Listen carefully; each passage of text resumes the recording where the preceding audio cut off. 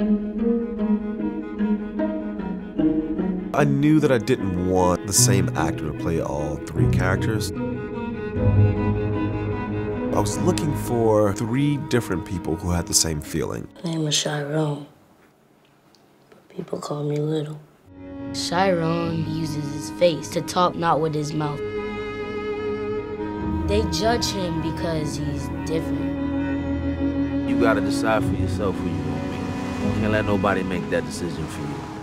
I thought if I could find three actors who had the same or very similar souls, you could buy that the world had changed them. And to me, that feeling was rooted in their eyes, being the window into the soul. What you gonna do?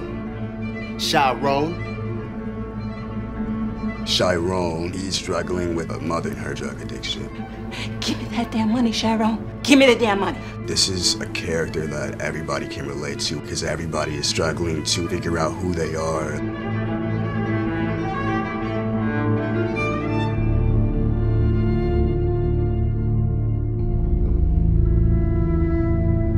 Dealing with the harsh life at a really young age. You're forced to grow up and you have to do what you have to do to get by.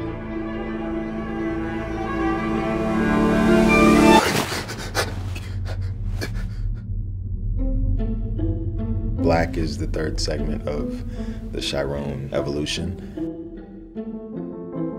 He is someone who is beautifully flawed.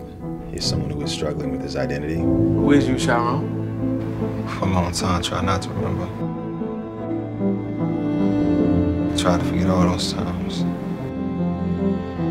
He is putting on this facade, this, you know, physical armor. Is someone who we all know, who we all love. It's Kevin. You do remember me, right?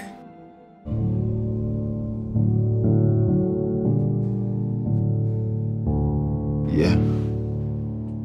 It's love and hate at the same time. This is literally the story of a lifetime. Films like this that allow you to understand that life is a growing process and it's important to understand that that's okay.